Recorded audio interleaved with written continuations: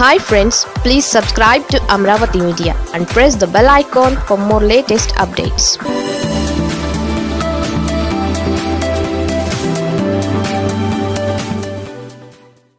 కమలంతో cycle ప్రయాణం ఇక కలేనా? చంద్రబాబుకి ఎన్నికల్లో ఒంటరిగా పోటీ చేసే సత్తా లేదు.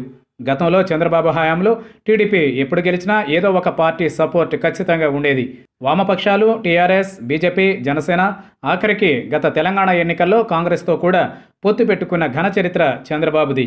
రెండు వేల పద్నాలుగు ఎన్నికల్లో కూడా బీజేపీ జనసేన సపోర్ట్ లేకపోతే చంద్రబాబు నవ్యాంధ్ర తొలి ముఖ్యమంత్రి అయ్యేవారు కాదని అంటుంటారు.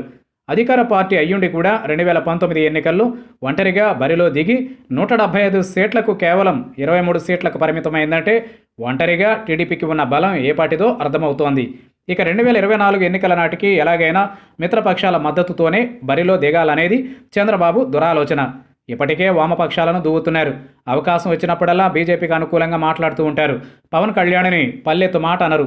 ఇలా వైసీపీని ఏకాకిని చేయాలనేది చంద్రబాబు ప్లాన్. అయితే ఈసారి ఎందుకో బీజేపీ వ్యవహారంతో చంద్రబాబు వ్యూహాలు ఫలించేటట్లు కనబడడం లేదు. ఏపీ బీజేపీ అధ్యక్ష స్థానంలో జరిగిన మార్పుతో ఈ విషయం స్పష్టమైంది.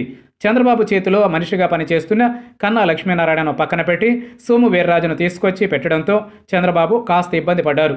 దెబ్బ మీద దెబ్బలాగా దగ్గుబాటి పురంధేశ్వరికి బీజేపీ జాతీయ ప్రధాన కార్యదర్శి పదవి ఇచ్చింది అధిష్టానం. నారా దగ్గుబాటి ఫ్యామిలీలు ఉప్పు నిప్పులా ఉంటాయి. చంద్రబాబుని దూరం పెట్టిన చాలామంది ఆ తర్వాతి కాలంలో ఆయనకు దగ్గరయ్యారు. కానీ ఒక్క దగ్గుబాటి వెంకటేశ్వరరావు మాత్రం చంద్రబాబును ఆగర్భ శత్రువులా చూస్తారు. అసలు చంద్రబాబు అంటేనే ఆయనకు పడదు.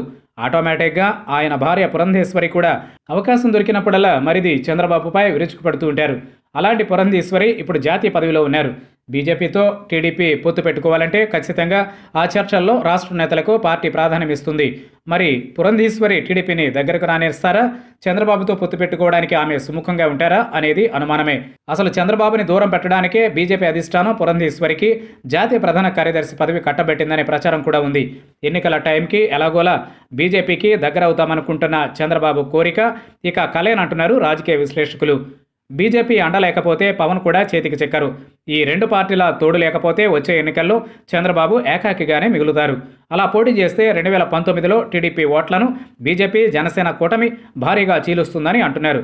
తన రాజకీయ చాణక్యాన్ని ఉపయోగించి చివరకు చంద్రబాబు ఎలాగైనా బీజేపీ పంచన చేరగలడని మరికొందరి అభిప్రాయం.